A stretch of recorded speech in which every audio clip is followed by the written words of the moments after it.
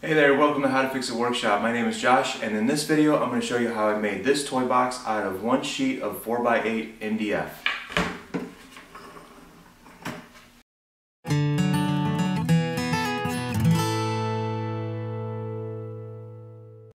Okay, so the first thing we're going to do is we're going to make this project out of a full sheet, 4 feet by 8 feet uh, piece of MDF. And what I had um, the hardware store do is cut this cut this 4x8 sheet into two halves. So I have cut it at 55 inches and that way I could transport it a lot easier.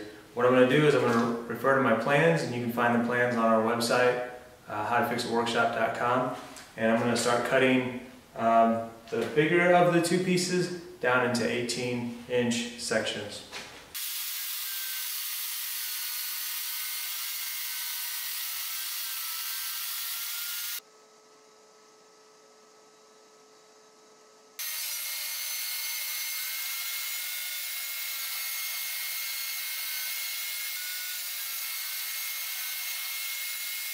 Okay, so the pieces that I just cut were for the bottom, front, and back.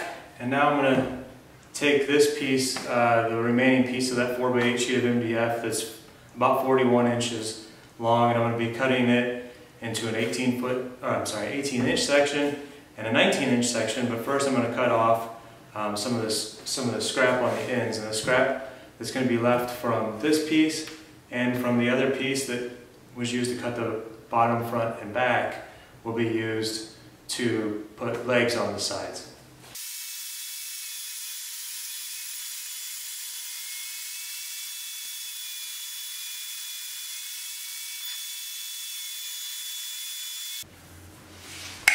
Okay, now with all my pieces cut to length, I'm going to trim down the sides. I need the sides and the back, I'm sorry, the front and the back, I need them to be 33 inches, so I need to cut off, um, so I need to cut off a little over an inch.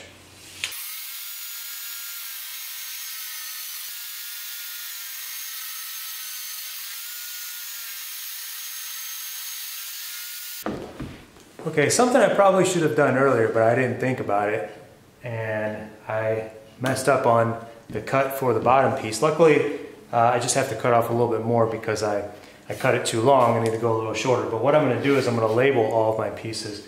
So I have the front and the back, and then I just wrote out bottom on here. So I'm gonna, so now that I got all five pieces cut, I'm just gonna label them as I start to trim them down to their final dimensions. Okay, so I just messed up a cut on one of the sides. So even though I had it marked, I had side, um, now that I'm thinking about it, I probably should have sketched out all of the parts on the full sheet of 4x8 MDF. But as I set up my table saw to make this cut, the two sides have to be 16 and a half inches wide. Somehow I had my measurement wrong on my saw and, and I was you know, two inches or so into the cut before I realized I was going to be cutting right through my, my words, so that didn't help out a whole lot. Hopefully I can salvage this piece by just filling it in because I don't have any other pieces that I can uh, use. Um, so we'll just have to make it work. I'm gonna be filling, I'm gonna be painting this whole thing anyway. MDF is a really good material to paint and um, hopefully nobody will notice. Okay, so ongoing issues with these sides. So not only did I cut the one like two inches up and had the wrong measurement, I also cut them both at the wrong width. They should have been 18 inches wide, just like the bottom, but for some reason whenever I did my sketch I thought that they needed to be 16 and a half. So I'll correct that. I did actually find an old piece. Found this old piece of MDF that's three quarters of an inch. So it's got a lot of graffiti on it because um, well the kids had it for a long time. It used to be a desktop. And it's been out in the shop for a long time. It's got a lot of cobwebs on it but it's in pretty good shape. So I'm going to cut it down to the size that I need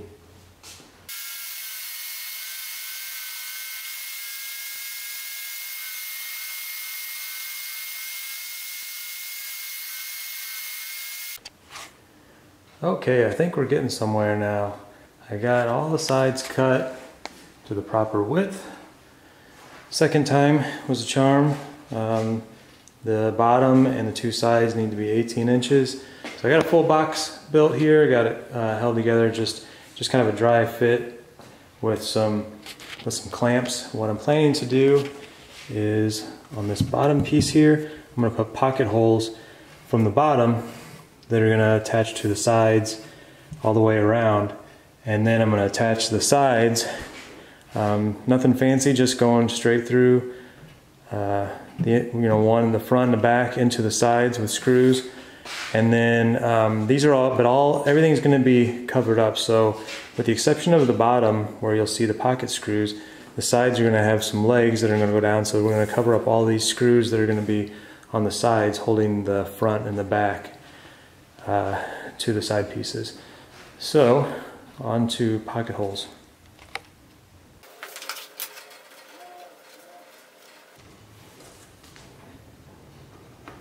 So I'm going to put these every six inches.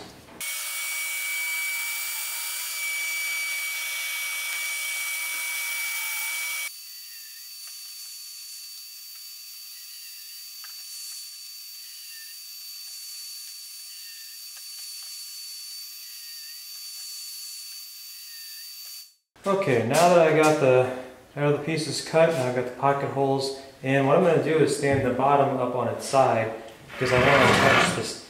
I want to attach the side piece to the bottom, so I have to do it while it's standing up. So I'm just going to put a bead of glue down.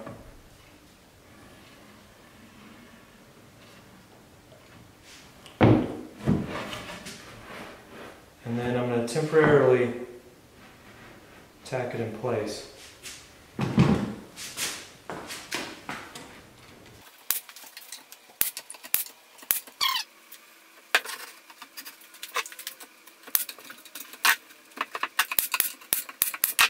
With those pieces all tacked together, I'm just gonna put a clamp on this across the ends here to tighten everything up while the glue dries.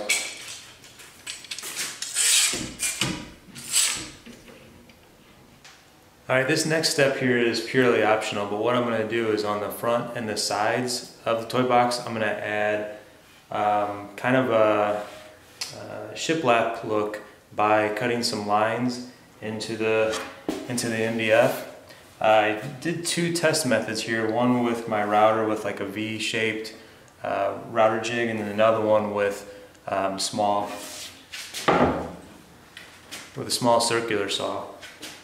I didn't really like the way that the circular saw looked. It just it just doesn't really look very clean and very straight. But the the router, uh, although it's going to be messier, it's going to cut a nice straight line. So I spaced some cut lines about four inches apart and then I spaced the guideline for my, for my router to follow this straight edge. And um, yeah, so I'm going to cut those out real quick.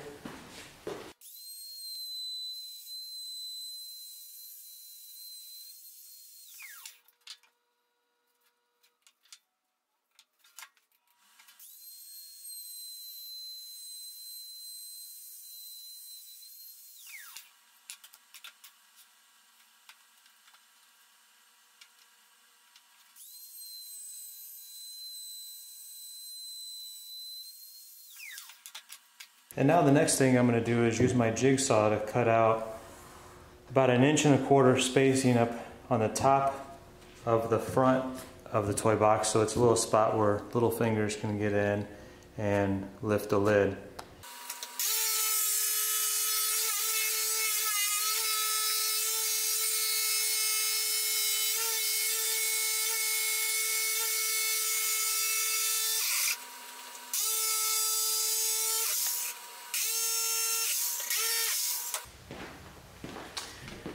Okay, with the glue dried and the clamps removed, now it's time to add our screws through the pocket holes. And earlier I mentioned that I thought I had my setting a little too deep.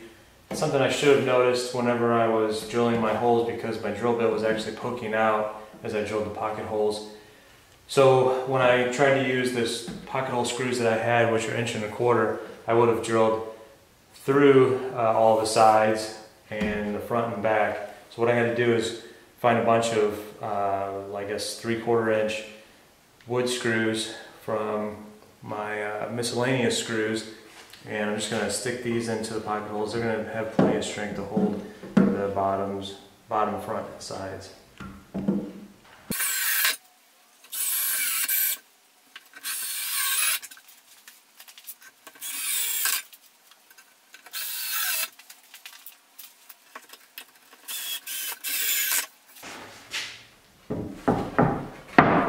Okay, now with the sides in place and screwed down, I'm going to add the I'm going to add the front of the box and make sure that lines up okay. And same thing, same thing I did with the sides is add a bead of glue all the way around.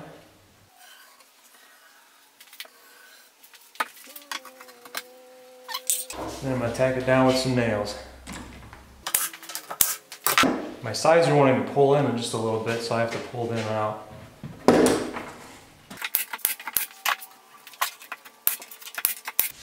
I'm just going to spin it around and do the same thing to the back.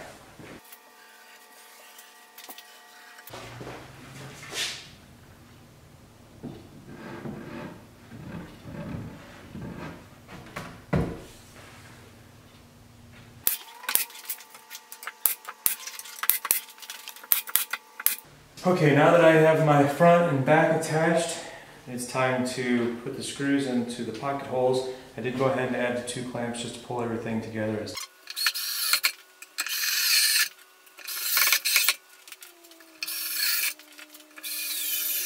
Okay, while my glue's drying for the bottom attached to the back and the front, I'm just going to use some of these one inch screws to attach through the front and back and into the sides all the way around. Now these are, I'm not worried about the appearance of these screws because they're going to be they're to end up being covered up by our legs. Uh, but I do want to be careful to countersink the screws so that they don't interfere with the legs whenever we go to attach those.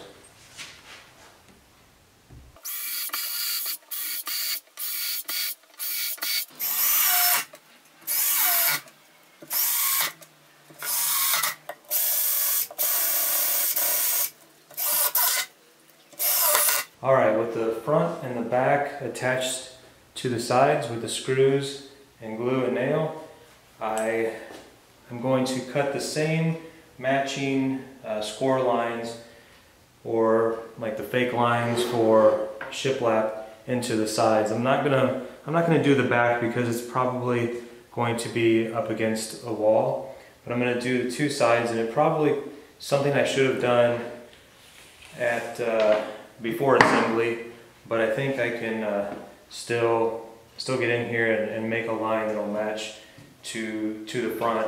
And what I did is I just cut a piece of scrap and I got the, the factory edge of the MDF and I made myself a little note to have the guide side out and I measured the same uh, two inches in between the, uh, the, the cut lines or away from the cut lines so that I could just line my guide stick up with my lines. I'm going to use my clamp and I got my, I've got the toy box resting on a couple of scrap pieces of MDF at the bottom. So if I get under there I can clamp the, clamp the guide stick to the box.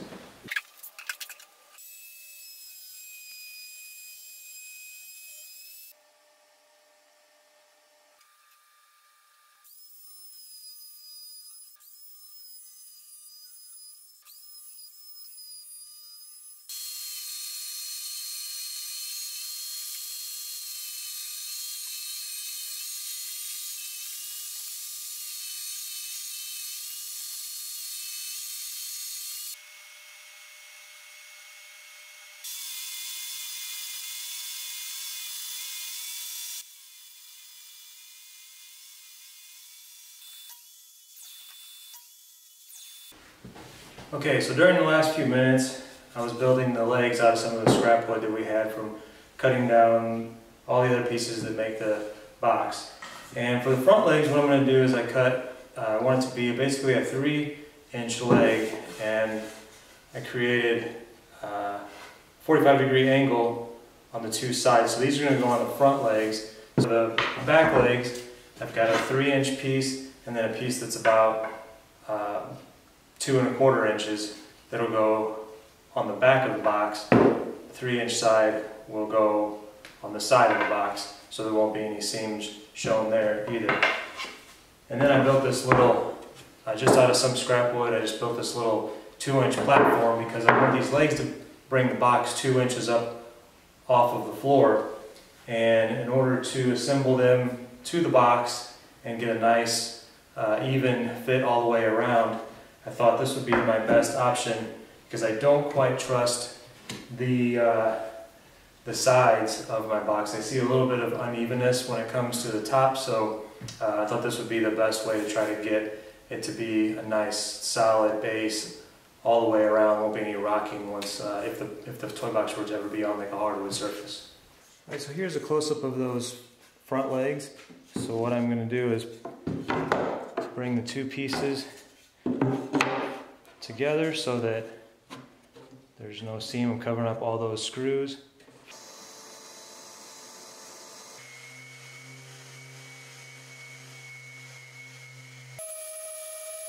Rather than attach the legs in pieces to the toy box, I'm going to put the two pieces of leg together with glue and nails and then attach as one piece instead of two pieces. I'm just afraid that uh, things won't quite line up properly.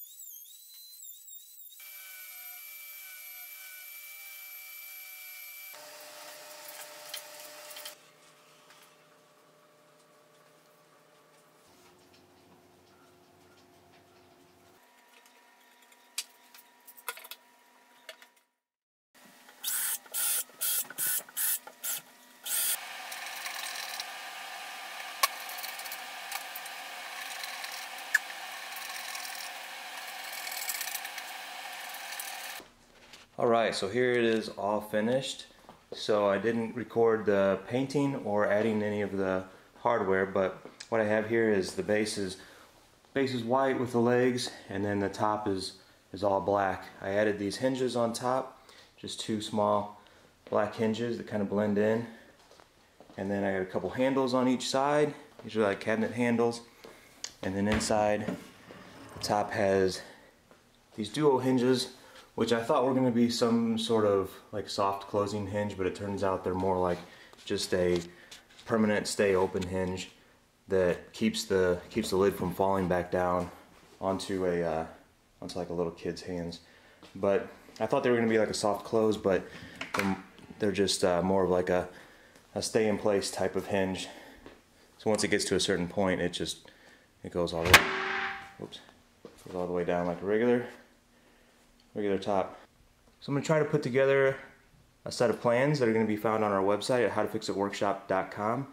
And if you have any questions, please feel free to leave them below and let me know what you think of this build.